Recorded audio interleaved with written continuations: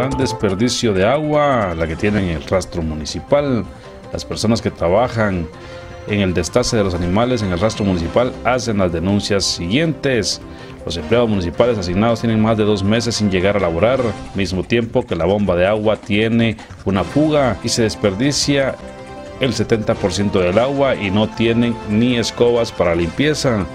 Escuchémoslo de las propias palabras de Miguel Antonio Polanco y la respuesta a la solución que se podría dar por parte de Luis Sandoval, gerente de la Municipalidad de Jalapa. Eh, referente sobre el agua, yo he escuchado en, el noticiero donde dice, ¿verdad? Gota a gota, eh, el agua se agota, ¿verdad? Pero aquí no es gota a gota, no que chorro a chorro. Y la, el agua se desperdicia, ¿va? Entonces, mm, un 70% se cae y, el, y 30 aprovechamos, pero nosotros le hemos hablado al administrador de aquí del rastro, que es don Roberto Sagastume, ¿verdad? Hace dos meses que, que, le dijimos que por favor nos arreglara ese problema, donde ustedes ya tomaron las fotos, ¿verdad? Pero no sé, tiene dos meses de no presentarse aquí, no sé si ya no trabaja o no sé qué pasa, ¿verdad? muchas gracias, buenos días. Eh, primero que nada, agradecerles a ustedes, los medios de comunicación, que nos, facilitan en muchas veces el trasladar esas quejas o denuncias de la población hacia acá la municipalidad de Jalapa. Eh, déjenme contarles, efectivamente, aproximadamente unos 20 um, días atrás se nos notificó de que en el rastro había la problemática de fallas en, la bomba del agua. Para ello, pues el director de servicios públicos ya solicitó la compra de, una nueva bomba, sin embargo, por eh, diversos movimientos financieros, pues aún no se ha podido realizar la compra. Para el día de hoy, pues ya platicamos con la directora financiera para hacer las gestiones y que se pueda hacer eh, dicha compra.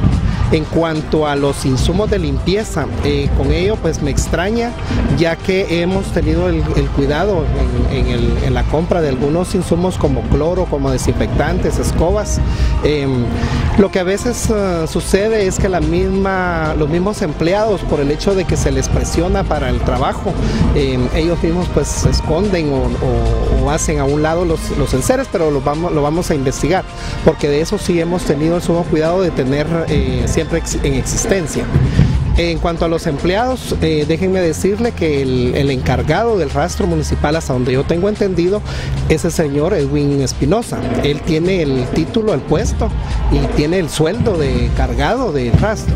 Eh, esta administración pues optó con asignar a, un, a otra persona que es el señor Roberto Sagastume, es eh, una persona pues altamente capacitada en el tema porque precisamente en ciertos puntos debe de haber eh, estratégicamente de confianza para que el señor alcalde pueda realizar las gestiones eh, administrativas.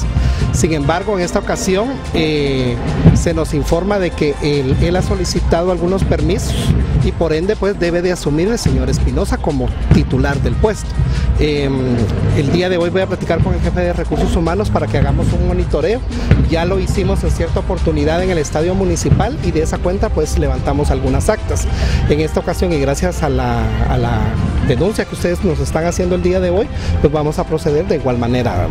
Em, reitero, eh, es importante eh, esa comunicación abierta que debe de haber dentro de los vecinos, los medios de comunicación y la administración, porque eso pues nos facilita a nosotros para poder eh, realizar las gestiones que corresponden.